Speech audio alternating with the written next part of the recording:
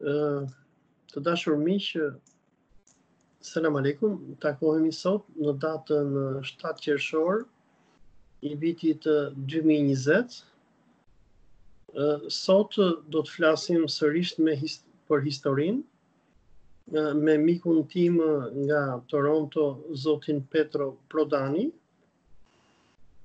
dhe sot do po marrim sërisht shkas nga një nga marrëzitë e fundit që televizioni ë që emërohet në amerikanisht në Tiranë Top Channel ka bërë me gazetarin e vetëshpallur historian të tij Marin Memën.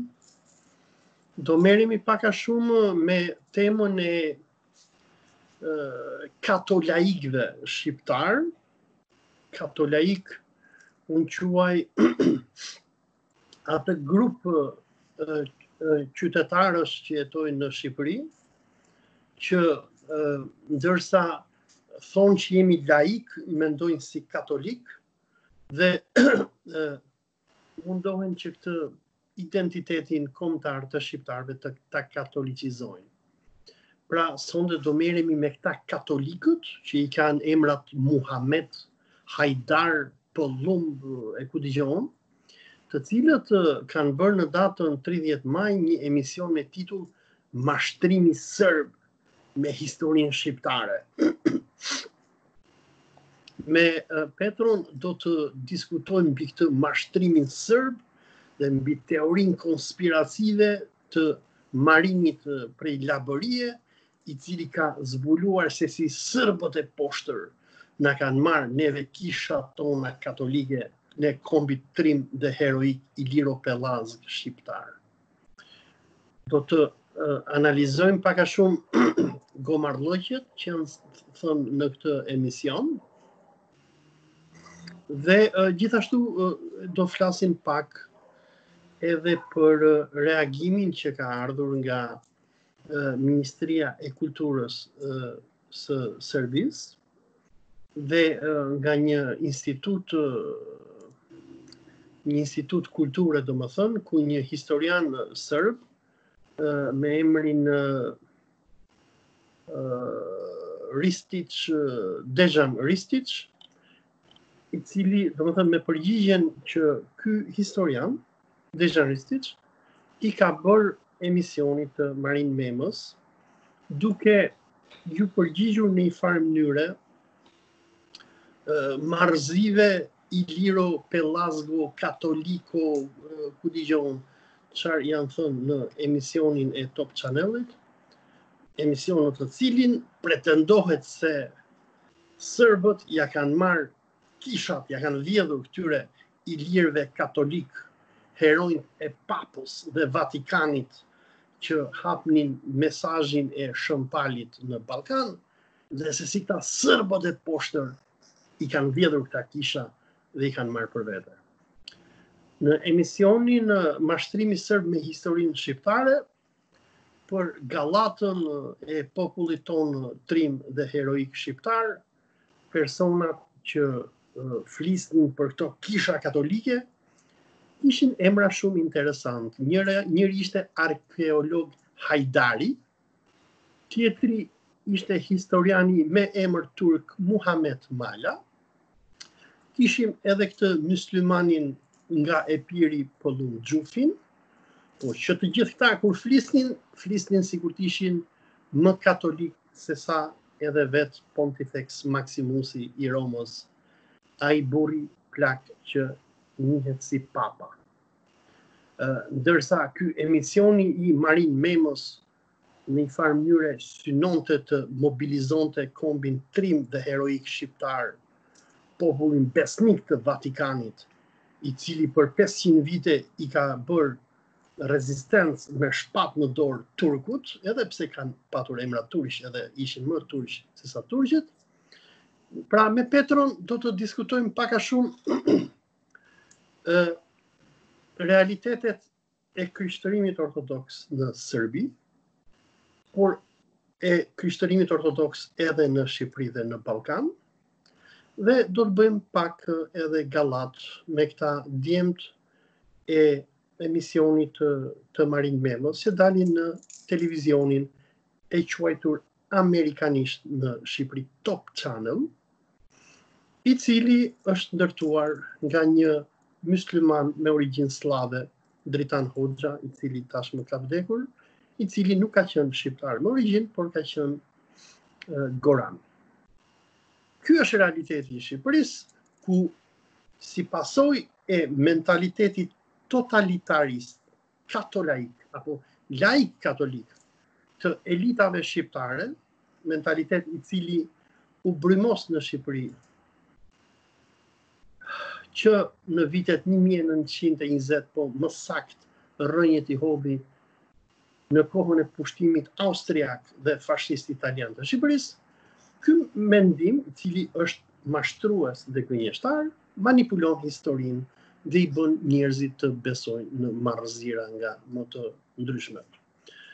Pa e zgjatur më shumë, ftoj Zotin Petro që t'i bashkohet diskutimit edhe më pas besoj se do të kemi një diskutim interesant. Petro, bujrum. Faleminderit Olsi, uroj të jesh mirë personalisht, familjarisht dhe një herë faleminderit për mundësinë që ju më jepni për të shprehur mendimet e mia në kanalin tuaj, që është shumë interesant. Dua ta filloj shumë larg Shqipërisë, shumë vite të kaluara një flotilë e Anglisë shkoi në Pacifik në ishujt e Oqeanit Paqësor, ku në një nga ishujt jetonin kanibalë. Dhe kapiteni i anijes bashkë me disa persona të ekuipazhit morën pjesë në ceremoninë e ngrënjes së viktimave që këta kanibalët kishin vrarë. Bëhej fjalë në një ishull, dy fshatra kishin vrarë njëri tjetrin Dhe kryetari i fisit që kishte fituar luftën, të themi, e pyet kapitenin anglez i thotë, si t'u pa beteja, ç'mendon për fitoren time? Kapiteni anglez i tha, oh, po kjo nuk është luftë, me 7 veta që vrave ti nuk është luftë, ne kur luftojmë, vrasim 7.000, 70.000, ne vrasim shumë, Dhe ky njeriu i egër i thotë ore, po ç'i bëni tërë këta që vrisni? O, po, thotë ore, po ne jemi të civilizuar, nuk i hamë viktimat, i thotë ta mejtë. Po, dhe, ai njeriu i egër u çudit, thotë ore, kur nuk i hani pse i vrisni? Dua të them që ne ballkanasit, ne të gjithë që kemi nga një pullë nacionaliteti, ne kemi vrarë njëri tjetrin aq sa të tremben. Ne nuk kemi bërë luftra midis kombësive tona ose popujve tanë, në nivelet që kanë bërë perëndimorët, që kanë vrarë njëri tjetrin në një muaj 70.000 veta, që kanë bombarduar me napalme, bomba atomike, që kanë shkatërruar civilizime të tëra. Dhe kur ata arritën, pak a shumë le të koncentrohemi në Francë, Gjermani, kur ata arritën të gjejnë një gjuhë të përbashkët, është plotësisht e mundshme që midis popujve të Ballkanit, qofshin këta shqiptarë, grekë, serbë, malazezë, nga Maqedonia e Veriut dhe më gjerë, të gjejnë gjuhën e komunikimit, të gjejnë një gjuhë të përbashkët, Dhe të ecim përpara. Përgatitja e programeve, si të thuash, me qëllim krijimin e problemeve të nxehta, kur nuk ka nevojë për probleme të tilla, është një, nuk e di, është diçka që nuk duhet të ndodhë. E kam fjalën konkretisht për disa emisione të zotit Marin Mema, që janë joprofesionale dhe shumë tendencioze. Po hidhem direkt në emisioni i fundit i zotit Mart Mema, ku bëhet fjalë për krishterimin në në Dardani ose në Kosovë sot. Përpara se të vazhdoj, dua t'i referohem Robert Elsie, një nga studiuesit më ose mbledhësit më të mirë të informacioneve rreth të historisë së Shqipërisë, ndjesë pastë ka vdekur disa vite të kaluara, dhe unë po i referohem një shkrimi të tij, Shenjtorët e krishterë shqiptarë. Më lejo Orsi të lexoj një pasazh, është shumë interesant, tregon këndvështrimin e një të huaj, një studiuesi të mirëfilltë dhe pro-shqiptar. Ai thotë, Historia e krishtërimit të hershëm nuk ka ndonjë rëndësi të veçantë në historinë kulturore të shqiptarëve. Kjo në veçanti ngaqë nuk ka gjurmë të besueshme të shqiptarëve gjatë kësaj periudhe kohore. Bile dhe gjatë pesë shekujve që do të pasojnë. Gjatë bregdetit shqiptar ndodheshin disa ngulime të krishterësh, si në Durrës, Apolloni, Butrint dhe Vlorë, por por këto kishin shumë pak kontakt ose hiç fare me popullatën vendase që jetonte në male. Të tilla vendbanime ishin dhe mbetën deri në kohën e pushtimit turk, koloni të banuara nga italianë, grekë, venedikas, dalmatë, sllavë, hebrenj dhe armenë. Dhe me sa duket në to nuk banonin shqiptarë. Duket qartë që blegtorët shtegtarë shqiptarë ndjeheshin më mirë dhe më të sigurt në malet e tyre. Pra, siç u tha më sipër, ne duhet të vëmë një linjë ndarëse midis krishtërimit në Shqipëri dhe krishtërimit midis shqiptarëve. Ashtu siç duhet të ndajmë historinë e Shqipërisë nga historia e shqiptarëve. Duke shprehur simpatinë për aspiratat e nacionalistëve shqiptarë, duhet thënë se tentativa e disa studiuesve shqiptarë për të interpretuar çdo gjë të së kaluarës, qoftë kjo individuale apo kolektive, si pjesë e nacionalizmit shqiptar ka dëmtuar shkencën shqiptare. Në shtypin shqiptar janë shfaqur figura historike të cilat kanë qenë, në thonjza, me siguri të lartë shqiptarë, ose së paku, përsëri në thonjza, ka të ngjarë, shqiptarë. Këta emra variojnë nga Aleksandri i Madh deri në Ataturkut. Mund të vazhdojmë me shën Astius, shën Donat apo shën Therinus, bile dhe më keq, si në rastin e shën Zherom, i lindur në Stridon në Slloveninë e sotme, ose shën Martin i Tours lindur në Sabaria, Hungari. Këto deklarime janë komplet të pakuptimta. Pra, Ju besoj se e dini, Elsie ishte një kanadez, siç jemi ne të dy. Unë kam patur nderin të kem një komunikim të shkurtër me të dhe ai ishte njeri shumë serioz, bile disa ditë përpara se të ndronte jetë, ai më shkrojti një email. U prehtë në paqe. Po vazhdoj drejt për tani drejt për së drejt me me emisionin e fundit të zotit Mema. Thënien e parë. Thotë, rrenjët e krishtërimit duhen kërkuar në periudhën ilire. Në fjalë, në fakt, periudha ilire në shekullin e parë kish marrë fund njëherë e përgjithmonë. Ilirët ishin zhdukur nga historia rreth dyqind vjet përpara shekullit të parë, në, në, në kohën e Apostojve, kur ata filluan të përhapnin krishtërimin në disa zona të Ballkanit dhe, dhe Evropës. Për ta bërë këtë të qartë, më lejo të ndaj një, një Hartë, e shikon ekranin, e shikoni? Po, po. E shikoj. Ehm, ok. Këtë hartë e kam nxjerrë nga libraria e Kongresit Amerikan. Pra, ligjvënësit amerikanë sot, kur duan të studiojnë situatën e e Ilirisë nën kontrollin romak në shekullin e parë, do të shikojnë Italinë, do të shikojnë Ilirinë që është përballë Italisë, sot ndodhet Kroacia, Mali i Zi, Dardania duhet të jetë diku këtu, pra nuk futeshe fare në Iliri, kemi Maqedoninë, kemi Epirusin, kemi dhe zonat një provincë tjetër në ku është Peloponezi sot. Pra, Këto ishin provincat në kohën kur apo apostujt filluan të lëviznin nëpër nëpër Ballkan dhe Evropë. Ëm po e mbyll këtë, po kthehem prapë në diskutimi i, i zotit Mema. Ëm po i kthehem shën Pavlit që zoti Mema përmend që vizitoi Shqipërinë, apo Dardaninë, apo Ilirinë. Është për të ardhur keq që ka njerëz që nuk kanë idenë fare rreth përhapjes të, shkri, të krishtërimit dhe hedhin për diskutim ose pretendojnë që dinë shumë rreth përhapjes së krishtërimit. Në fakt, një studiues i njohur i krishterimit, Gaspër Gjini, kosovar, prift dhe studiues i përhapjes së krishterimit, në mënyrë kategorike kundërshton në mënyrë kategorike teorinë që Pavli erdhi në zonat ku banojnë shqiptarët. Është shumë e qartë që historia e përhapjes së krishtërimit, Bibla vetë, është studiuar nga qindra mijëra njerëz me kapacitet të lartë intelektual, njohës të gjuhëve të vdekura dhe ekzistuese, Dhe ata kanë arritur nuk kanë lënë gjë pa pa kontrolluar, çdo gur kanë kthyer së mbrapshti, kanë shpenzuar afërsisht 2000 vjet për të arritur se ku shkoi Pali, çfarë bëri Pali e të tjera e të tjera.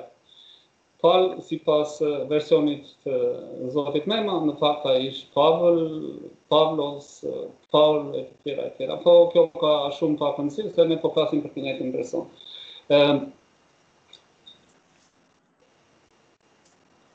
Unë këtu kam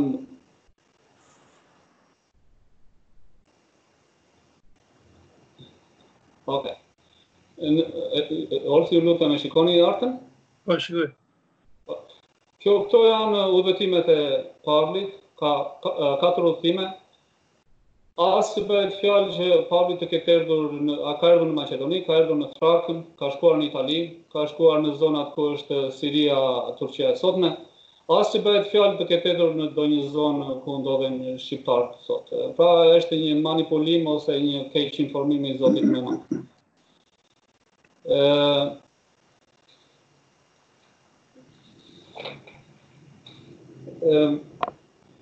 Diçka tjetër për njerëzit që nuk e kanë shumë të qartë si u përhap krishtërimi në ato zona.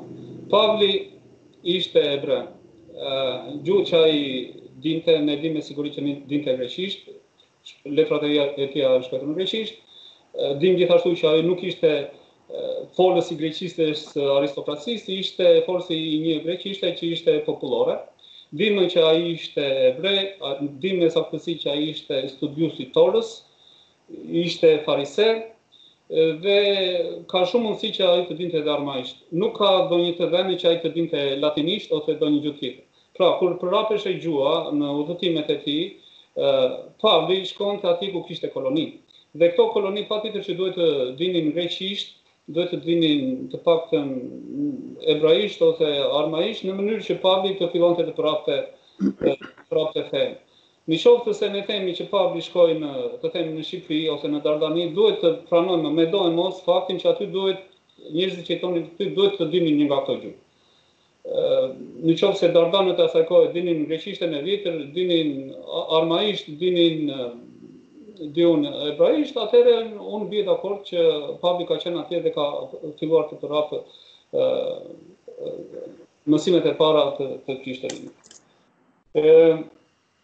Megjithatë, po të shikosh vazhdimin e dokumentarit të zotit Mema, ai përshkruan Dardaninë dhe zonat shqiptare si të mbushura plot me kisha, me manastire, në një kohë kur krishterimi ishte në fillimet në hapat e parë dhe ishte shumë më pak i përhapur në ato zona. Gjer në vitin 600 ne kemi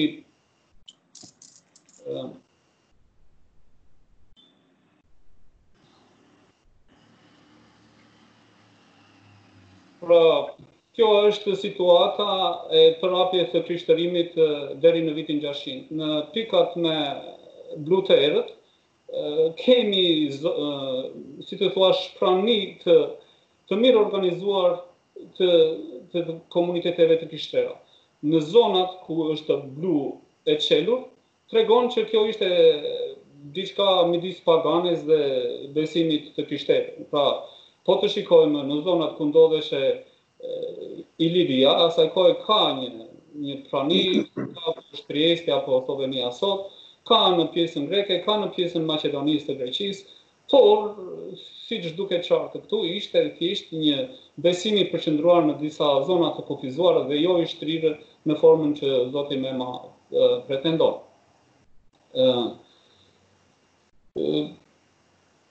Tjetër gjë që mua më bën përshtypje, dua të tregoj edhe këtu, është një hartë që zoti Mema e përdor vetëm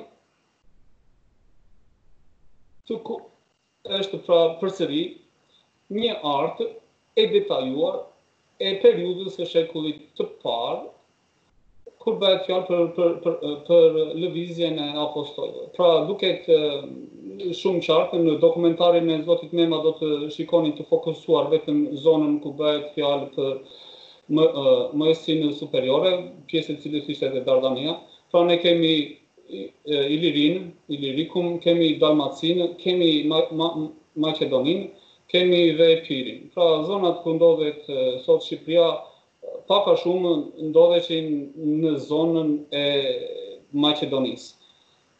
Zoti Mema nuk i përmend këto fare, ai thotë që Ilirët, pra tërë kjo zonë këtu, Dardania, Maqedonia, zonat e Shqipërisë, Epirit, të tërë këta njerëz kanë qenë ilirë dhe as që diskutohet në pasuesit e zotit Mema që kjo të vihet në dyshim, që gjithë këta njerëz këtu kanë qenë ilirë dhe paraardhës të shqiptarëve, diçka që është shumë larg të vërtetës. Do hidhem në në një koment shumë interesant të studiuesit kosovar kur flet për Florus dhe Laurus, dy shenjtorë që s'kishin fare të bënin me shqiptarët, ata erdhën nga Konstandinopoja, nga Stambolli i sotëm, u vranë bashkë me disa persona të tjera dhe u më vonë u shpallën shenjtorë si mbrojtës të kuajve. Ëm 18 gushti ishte dita kur festohet dita e Florusit dhe Laurusit, edhe dhe në atë ditë fshatarët e asaj kohe nuk i nxirrnin kuajt në punë, por i merrnin kuajt dhe i sillnin përballë kishës në shenjë respekti, frike dhe mbrojtje. është një këta dy shenjtorë janë të njohur shumë në kishën greke, janë të njohur në kisha slavike, por aspak të njohur në kishat shqiptare. Pra lidhja e këtyre dy shenjtorëve me kishën shqiptare është një një zgjatim i panevojshëm. Megjithatë, një gjë prap interesante këtu është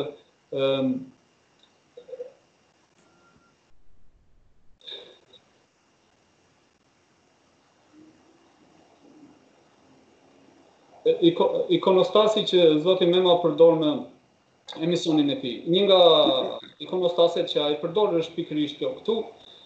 Zoti Mema harron të theksojë që ky është një ikonostas rus, në një kishë, në një manastir rus, është ikonostas i shekullit 15. Në ikonostaset shqiptare, në qoftë se kishte ndonjë të tillë, Patjetër që bashkëpunëtorët e zotit Mema do ta kishin përmendur. Pra, duket shumë qartë që ky ishte një shenjt sllav, i përhapur në popullatat sllave, në Ukrainë, në Rusi, në Serbi dhe të tjera e të tjera. Gjithashtu shumë dhe në Greqi. Pra, nuk kemi të bëjmë me një vazhdimësi të traditës të krishterë në shqiptarët të këtyre shenjtorëve. Tjetër gjë që do të thesha,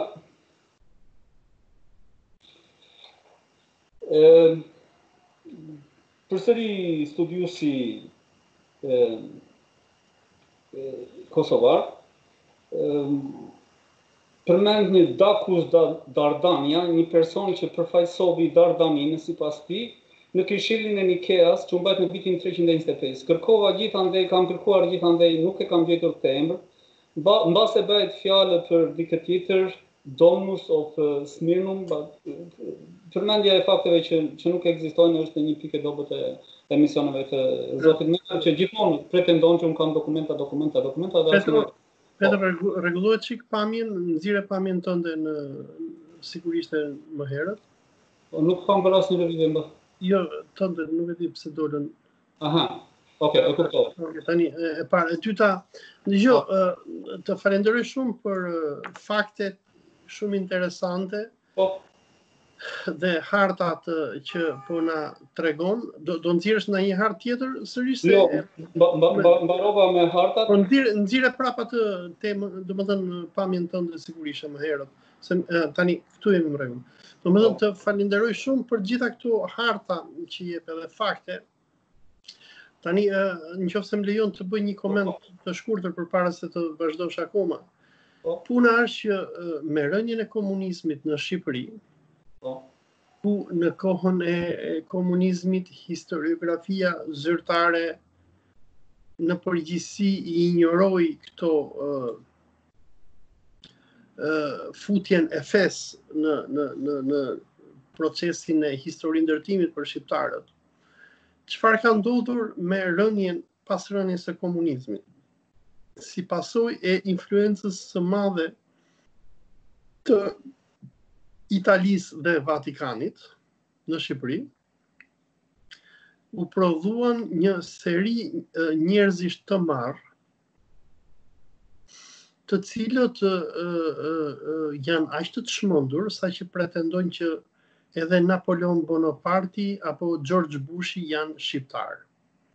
Dhe në emisionin që ti po komenton, domethënë të Marin Memës, ne nuk kemi vetëm Marinin që Marini aq shkollë ka, aq di të bëjë, por kemi edhe sikur Pëllumb Xhufi domethënë,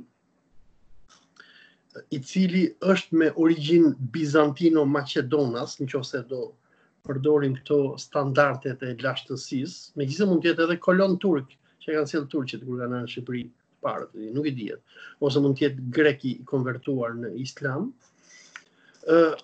domethënë, Në këtë emision, çfarë sheh, sheh që edhe persona që pretendojnë që janë historianë, besojnë në këto marrë, lloj marrëzirash. E para, sikur ti edhe dëshmove tani me hartat që nxore, që Iliria nuk është Shqipëria, as Kosova, por është Kroacia, lart, Këta, domethënë, këtë idenë që shqiptarët janë ilirë, e thonë me, me besimin e një idioti. Dhe po ta shikoje emisionin dhe interpretimet që bënin këta, sidomos Pëllumb Xhufi, i cili uh, është një bizantinolog, ka studiuar për atë periudhë paktën, por që tani ndoshta ngaqë u plak edhe nuk i kupton gjërat aq mirë, bëhet një rokadë dhe një marrëzi aq e madhe, saqë duke filluar që me Shën Florin dhe Laurin, duke filluar që me këtë peshkopin Dardan që ta thonin meqenëse ka ardhë nga Dardania, ai është shqiptar që pastaj ka marrë pjesë në koncilin e Nikeas. Më pas vazhdonin me Kostandinin e Madh dhe thonin edhe ky është ilir, dhe me rregullin e treshit domethënë nga ilir e nxirrnin katolik dhe nga katolik e nxirrnin shqiptar këta. Dhe aty kishe Pëllumb Xhufin që thoshte në një moment edhe Justiniani i parë, Justiniani i Madh është ilir. Domethënë, këta thonë aq shumë marëzira, saqë asnjë akademi serioze dhe historian serioz nuk do t'i merrte seriozisht. Por, për fatin e mirë, dhe të keqe të këtyre është se në Shqipëri, sidomos me rënien e komunizmit, ka marrë fund edhe ai pak seriozitet shkencor që kishte më herët dhe këtu mes nesh thuhen marrëzira nga më të paparat. Në emision, në qoftë se e pe me vëmendje, flitej për Sllavët kur ata vinë në Ballkan, serbët, kroatët, bullgarët e të tjerë, thuhet këta erdhën në shekullin e 7 dhe këta ishin barbarë.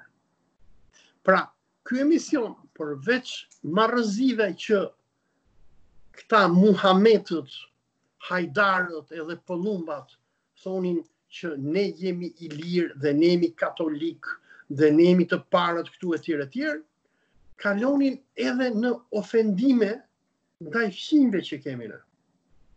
Dhe përdorin disa standarte të lashta romake, të cilët në kohën e tyre kur sllavët erdhën i i i, i trajtuan si barbarë, por që të flasësh me këtë lloj gjuhe tani në shekullin e 20 dhe 21, për më tepër ne dim se çfarë jemi dhe bëjmë ne shqiptarët, që e kemi djegur vendin tonë, e kemi rrënuar, po e vjedhim për ditë, po e shkatërrojmë. Ama në këtë emision që Marin Mema bënte, dhe për fat keq me sa duket ky emision përçon edhe mendimin e këtij Ben Blushit që këta kanë si drejtor të përgjithshëm, është një racizëm një ortodoksofobi dhe një manipulim i të vërtetës në një shkallë të pabesueshme. Edhe duke qenë që ky lloj emisioni shfaqet në një televizion kombëtar, sikur është Top Channel, dhe këtë emision ndoshta e kanë parë me miliona njerëz, këtu kemi një Një transmetim të idiotësisë dhe të marrëzisë në shkallë kombëtare. A faktet historike, sikur edhe ti po i përmend, flasin për gjëra krejt të ndryshme. Ë kushdo që lexon raportet e Vatikanit mesjetar mbi ato që ndodhnin në këtë vend që ne sot quajmë Shqipëri, apo edhe rrëfimet e shumë bizantinologëve, këtu në Shqipëri procesi kristianizimit nuk ishte mbaruar akoma. Ne kemi misionarë të krishterë ortodoksë që vijnë këtu në Ballkan në kohën e fundit bizantine, që në raportet e tyre, ata thonë që këta njerëz janë paganë. Këta duhet të krishterizohen. Dhe harta që ti tregove dëshmon pak a shumë këtë, se edhe krishtërimi në këto periudha ka qenë një fenomen urban, sikur ka qenë edhe islamizimi. Domethënë, po të shikohe, shohim në Ballkan, islamizimi ishte një proces urban edhe kur erdhën turqit. Malësitë shqiptare ngjelën pagane, edhe pse me emra shumë veta i kthyen emrat nga Gjon apo nga Vlad në Muhamed dhe Hajdar, prap po ta shohësh me vëmendje edhe procesi islamizimit, këtu nuk ishte asnjëherë i plotë, kjo për shkaqe demografike dhe kulturore. Ngaqë popullatat që kanë populluar këtë vend që sot quhet Shqipëri, kanë qenë popullata malësore që kanë jetuar të izoluara nëpër male dhe po ta shohësh islamizimi kur ka ndodhur këtu kur erdhën turqit, ndodhi nëpër qytete. ishte një fenomen urban. Dhe këto pretendimet e këtyre tani që jo Iliri i Madh, jo Lauri, jo ishin ishin shqiptarë ngaqë ne jemi ilirë, ata ishin ilirë, këto rregullat e treshit. Kjo është një marrëzi, një populizëm, një nxitje urrejtjeje fetare dhe etnike që bëhet në një televizionin tonë kombëtar dhe për më tepër bëhet me fakte jo të vërteta. Më fal që të ndërpreva, po mund të vazhdosh. Po, faleminderit shumë për ndërhyrjen, ndërhyrje shumë e saktë si gjithmonë. Faleminderit. Ëm profesionalizmi bën punën e vet. Ëm kam një pyetje këtu. Po e diskutoj. Në vitin një mijë e pesëdhjetë e katër u nda Kisha Ortodokse nga Kisha Katolike. Mbi ç'bazë i klasifikojnë katolikë, ortodoksë apo të themi të pafe studiuesit shqiptarë përfshirë zotin Xhufi? Si arrien ai në konkluzionin që njerëzit në Kosovë apo në Dardani të asaj kohe ishin katolikë? Kur ne e dimë që këto dy kisha u ndanë në vitin 1054.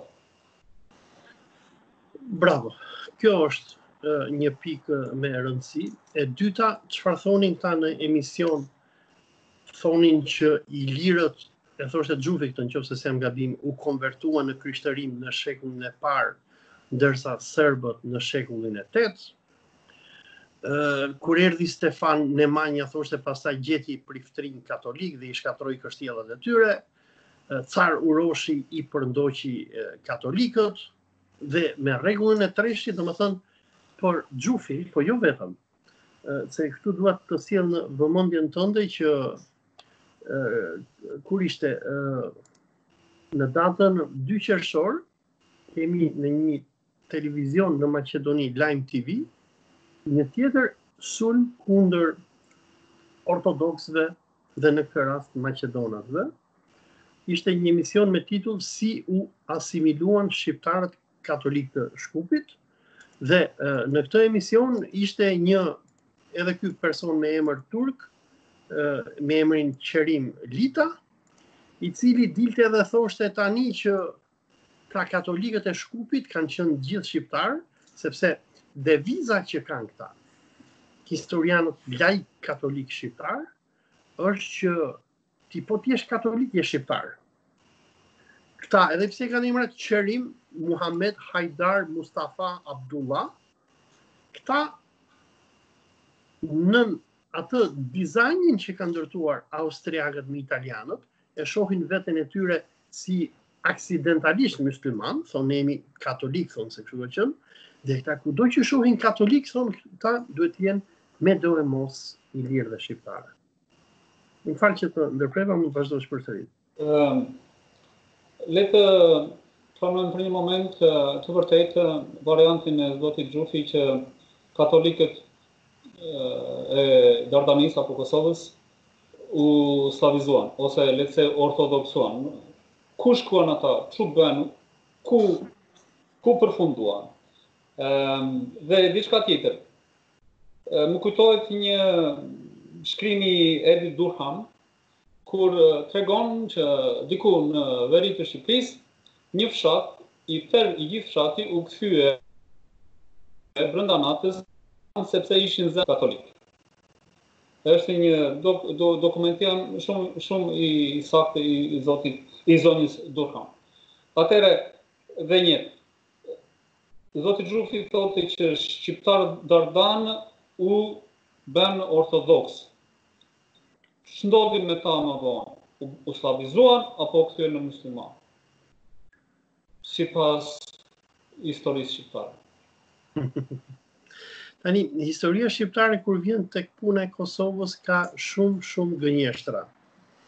Në qofë se i kthehemi sërisht emisionit të Marin Memës, ideja që Muhamed Mala, Pëllumb Xhufi, ky Arbër Hajdari mundoheshin të jepnin, është që Kosova ka qenë gjithmonë shqiptare, ilire, domethënë, se këta e, e, e barazojnë termin shqiptar me ilir njësoj, në një kohë që nuk ka lidhje.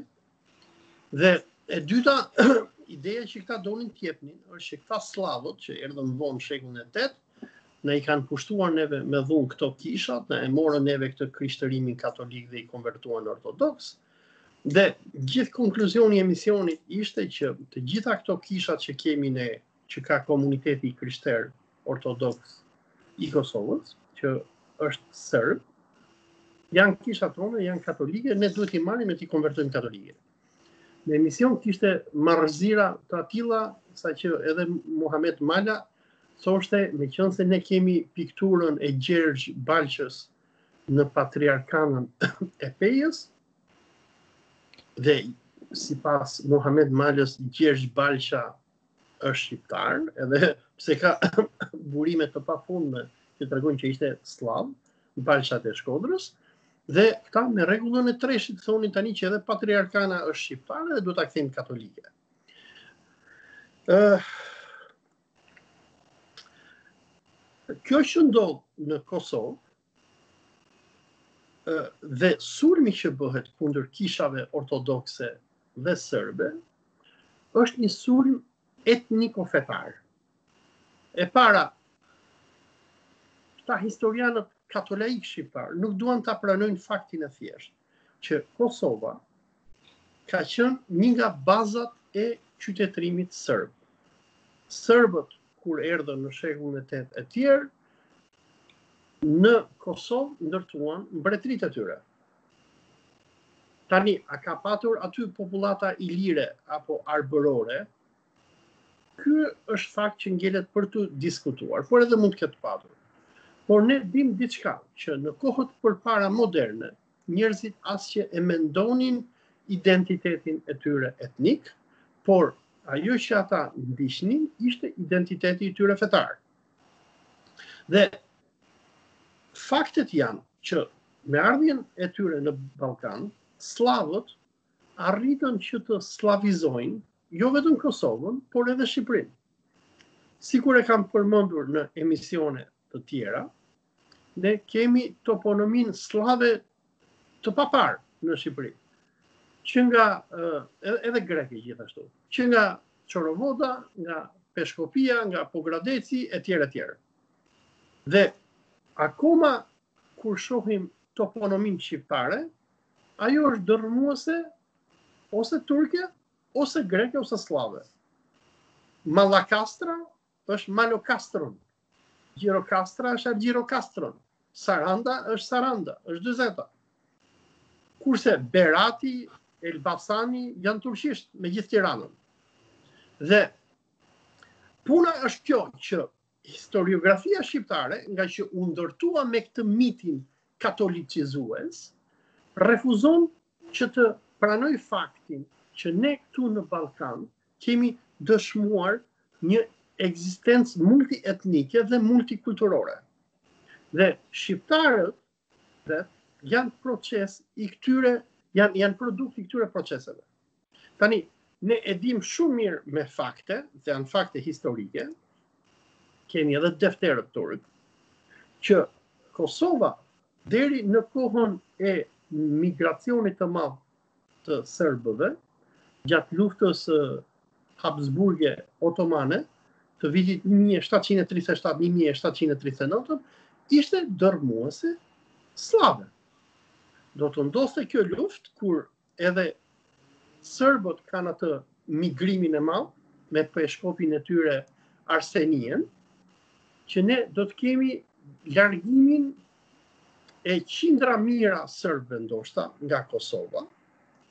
Dhe ne kemi edhe në dokumentet osmane që këta Muhametet edhe Hajdarët që ne kemi sot në Prishtinë dhe shumë prej tyre edhe e tregojnë këtë fakt. Thonë, jo unë jam nga Surroi, jo unë jam nga Shkodra, jo unë jam nga Kelmendi, se i kanë edhe fiset këta. Dhe ça ndodhi? Kosova u shqiptarizua me pushtimin turk. Ishte pushtimi otoman dhe përplasja ndërmjet otomanëve dhe sllavëve të krishterë ortodoksë dhe katolikëve dhe luftrat që ndodhën faktori që solli shumë nga këto fiset e islamizuara malësore nga Shqipëria, që shkuan drejt Kosovës, dhe këto janë të dokumentuara. Dhe e islamizuan dhe më pas do të kemi shqiptarizimin, se fillimisht në Kosovë kemi islamizim, pastaj kemi shqiptarizim. Një fakt tjetër që nuk e përmendin historianët sikur Pëllumb Xhufi me shokë, është që dhe për këtë kam bërë edhe një artikull, Kosova nga rreth 40 apo 50% që ka patur popullatën e saj myslimane, pas luftës ruso-turke të vitit 1877-78, kur sërbët do të marrin edhe Sanxhakun e Nishit, ne do të kemi dëbimin e rreth 70.000, 100.000, disa thonë edhe 500.000 myslimanëve nga vilajeti i Nishit. Dhe këta myslimanë, të cilët neve i shohim sot edhe në Kosovë, por janë shqiptarizuar, në atë kohë nuk ishin gjithë shqiptarë. Ish, dhe këta ne i kuptojmë nga mbiemrat e tyre, Muhaxheri, Tërnava, Spanca e tjera e tjera. Këta janë muhaxherë, muhaxhirë që kanë ardhur nga Serbia.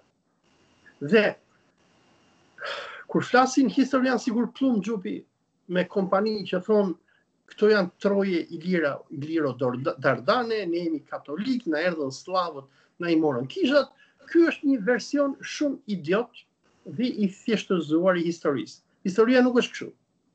Historia është që në Kosovë në Shqipëri, por edhe në të gjithë Ballkanin, historikisht ne kemi patur lëvizje popullatash. Dhe pretendimi i këtyre që këto kishat sërbe sot në Kosovë janë kishat tona dhe janë katolike, është një marrëzi fashiste që në Shqipëri u sponsorizua në mënyrë shtetërore në kohën e pushtimit fashist të Italisë, e cila në qoftë se fjala bie ky Pëllumb Xhufi do të ishte mysliman, edhe do të thoshte që këto kishat sërbe janë xhami dhe ne duhet t'i marrim e t'i kthejmë në xhami, Perëndimi do t'i kishte shpallur ekstremist edhe do i kishte vrarë me dron. Por, ngaqë këta përdorin këtë gjuhën katoliciste, edhe ngaqë për momentin këto marrëzitë e Marin Memës me kompani janë të kontrollueshme, ne nuk shohim edhe reagime politike në Perëndim.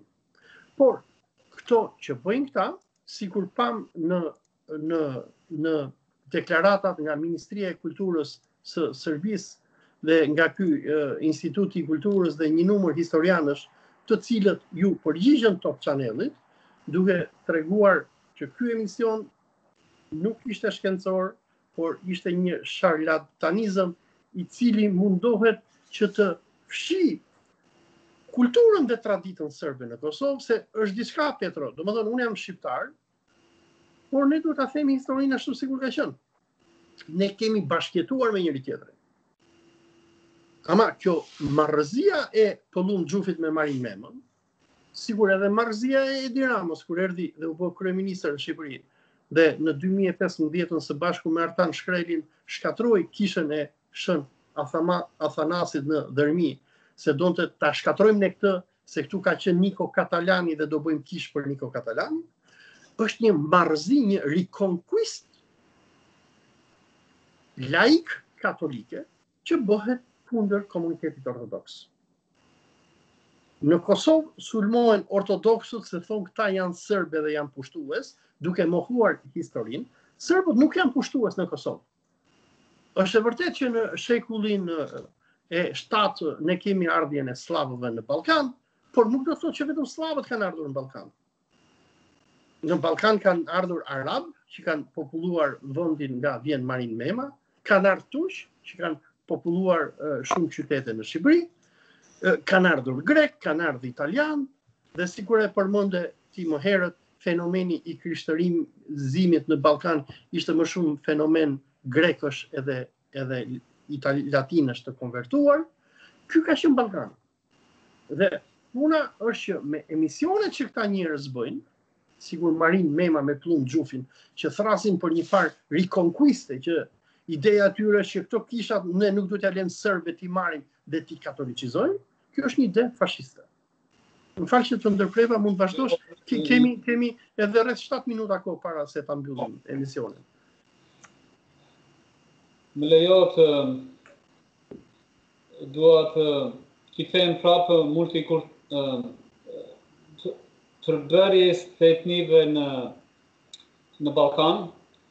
Kam sjellë në ekran një faqe shumë të dëgjuar që i referohen shumë studiues, Eupedia.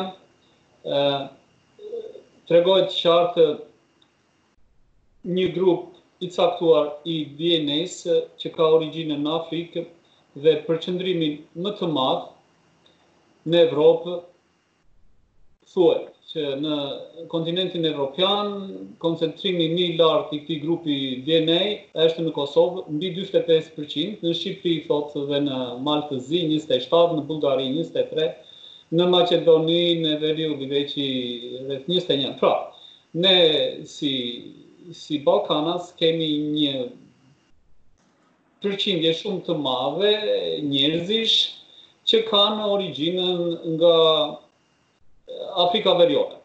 E duket qartë. Tani, në qoftë se i kthehemi hartës së mëparshme që unë tregova disa momente më përpara, Iliria ndodheshe në këtë zonë. Gjenetikisht, Ilirët që jetonin këtu, qoftë edhe në zona tjera të Shqipërisë, kanë një ndryshim të madh nga Dardanët që zoti Mema pretendon në emisionin e tij që këta Dardanë kanë qenë ilirë. Ka mm, shumë të dhëna gjenetikisht ta 40% e popullatës në Kosovë e ka origjinën që nga këto. nga këto zona. Po ashtu kemi në Greqi, në Peloponez, në Shqipërinë veriore, e të tjera e tjera. Teoria e, e ardhjes së shqiptarëve, e indoevropianve, thotë që gjuha indoevropiane dhe popullata me indoevropiane ka origjinën këtu. Pra, siç shikojmë, në Shqipëri ka shumë pak njerëz me me me përbërje gjenetike indoevropiane. Pak a shumë këto janë konkluzionet e mia, të cilat nuk janë të specializuara, por si një lexues i i, i vëmendshëm unë ftoj zotin Mema, zotin Xhufi të bëjnë një test DNA Edhe ta publikojnë ashtu siç e kam bërë unë, unë kam bërë mbase pesë teste DNA, të gjithë rezultatet e mia personale janë të listuara në të gjithë faqet që merren me këtë punë në institucione të specializuara gjithashtu. Ky test më më ka dhënë një hapësirë të madhe ta kuptoj kush jam, si është raporti im me historinë, kush janë të afërmit e mi, ku jam tretur, si jam përzierë unë me grupet e tjera që jetojnë në Ballkan. Do do t'i sugjeroja të gjithë shqiptarëve që pretendojnë që janë një racë ariane dhe e pastër, me ilirë dhe me pellazgë e të tjera e të tjera, të investojnë në një shumë të vogël dhe të shohin sa të përzierë dhe sa të ndërthurur janë ata me popujt dhe kulturat e tjera të botës, me besime fetare të ndryshme, me me me të kaluar dhe perspektivë që mund të bëhet shumë më e mirë se e sotmja. Ë, para se ta mbyllësh Olsi, kam një pyetje. Puna e stimulimit të katolicizmit dhe ngritjes së nacionalizmit shqiptar në nivele të papara më parë. Mendon se mund të ketë lidhje me dështimet e njëpasnjëshme të sistemit politik dhe ekonomik në Shqipëri, tamam si në kohën e Enverit, kur ne ishim një kështjellë graniti në Evropë dhe largoheshe vëmendja nga problemet thelbësore që kishte vendi? Dëgjo, është një mendimtar, domethënë britanik me emrin Samuel Johnson, që edhe ka thënë që patriotizmi është streha e fundit e, e maskarenjve. Shqiptarët janë në një krizë identiteti me rënien e shtetit të Enver Hoxhës, ku Enver Hoxha pak a shumë ishte arkitekti më i madh i procesit të shqiptarizimit dhe modernizimit të shqiptarëve, me rënien e komunizmit, e enverizmit e të tjerë, me vërshimin e shqiptarëve të uritur, të vuajtur, me urrejtje për vëndin e tyre drejt Greqisë, Italisë, Evropës, dhe gjithë botës, kur ra komunizmi, dhe me rikthimin e tyre sërish në Shqipëri, shqiptarët janë në një proces kërkimi identitar. Për më tepër, konflikti në ish-Jugosllavi, lufta e Kosovës, ndërhyrja e NATO-s, në një farë mënyre viktimat e asaj lufte, vrasja e shumë qytetarëve kosovarë e të tjerë, i ka dhënë një farë identiteti dhe, dhe kuptimi të ri idesë së të qënit shqiptar.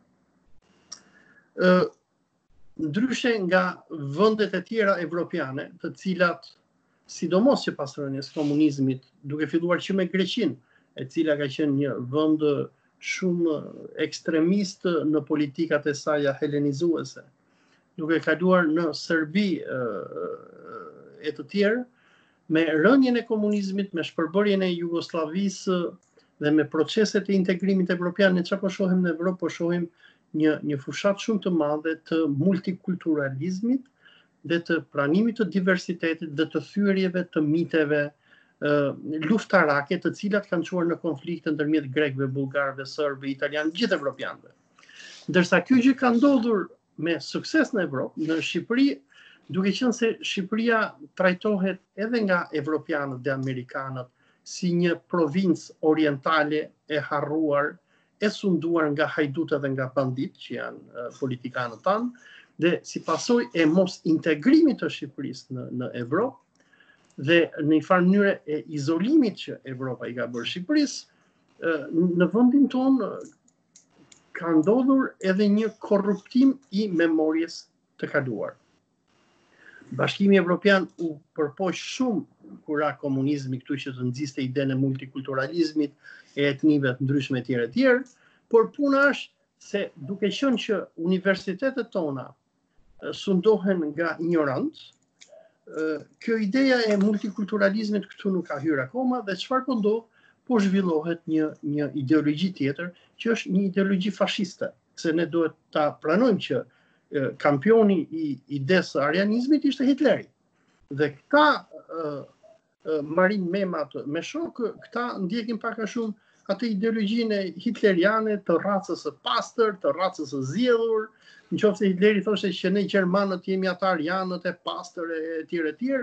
Këta kanë nxjerrë këtë idenë ariano-ilirëve, ne themi thonë jemi ilirë, Edhe sheh lloj-lloj budallenjsh joprofesionistësh që i kanë hyrë një një një marrëzie të paparë dhe duke qenë se ne në Shqipëri nuk kemi as ministri arsimi nuk kemi për qenë se t'i shohësh këtu edhe ministrit personat që punësohen nëpër shkolla nëpër ministri hyjnë me korrupsion me me favore seksuale etj edhe duke qenë që ky vend është në një kaos total në një vjedhje totale ku është një xhungël, ku ne shohim se çfarë bën qeveria, se si grabit toka, ua merr qytetarëve, i shtetëzon, i vjedh vetë, dhe kjo hajdutëria që ne kemi në aspektin ekonomik, kjo xhungla dhe barbarizmi i egër që kemi në aspektin e ligjeve, e funksionimit të shtetit ligjor, ka hyrë edhe tek puna e historisë. domethënë hyn njerëz që nuk e kanë idenë e historisë, që nuk kanë lexuar asnjë libër,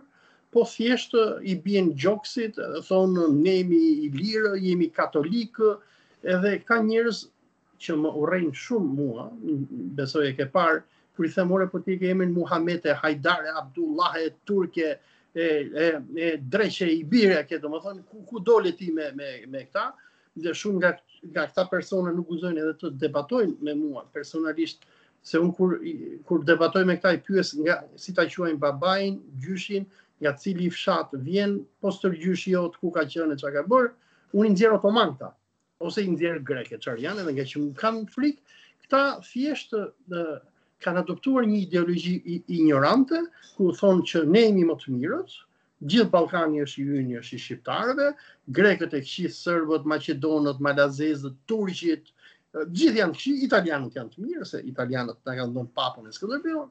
Ky është nacionalizmi. Petro, të falenderoj shumë, u bënë 57 minuta, duhet ta ndërpresim. Po, po. Inshallah të takohemi sërish në emisionet e tjera. Faleminderit. Miq, ju, ju falenderoj shumë që më ndoqët mua dhe mikun tim Petro Prodani. Dëgjohemi sërish në emisionet e tjera. Selam aleikum wa rahmetullah.